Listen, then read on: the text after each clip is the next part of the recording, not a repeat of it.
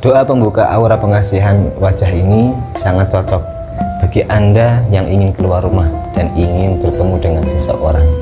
Karena dengan mengamalkan ilmu pembuka aura ini, Anda akan kelihatan istimewa di hadapan orang tersebut. Selain itu, Anda juga akan dikagumi oleh banyak orang yang melihat Anda.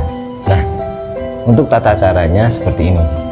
Yang pertama, sebelum keluar rumah, bacalah doa ini sebanyak 11 kali Kemudian tiupkan ke kedua telapak tangan Anda lalu usapkan pada wajah dan seluruh tubuh Anda.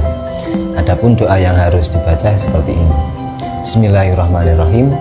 Nur Allah, Nur Muhammad, Nur cintaku tak berubah cahaya Allah, cahaya Muhammad, cahaya Maryam, Siti Fatimah. Ya, amalkan doa ini setiap kali Anda akan keluar rumah di pagi hari. Ya, maka atas izin Allah, aura pengasihan dalam diri Anda akan bercahaya, menjadi lebih bersinar dan akan disukai oleh ribuan orang yang memandang Anda.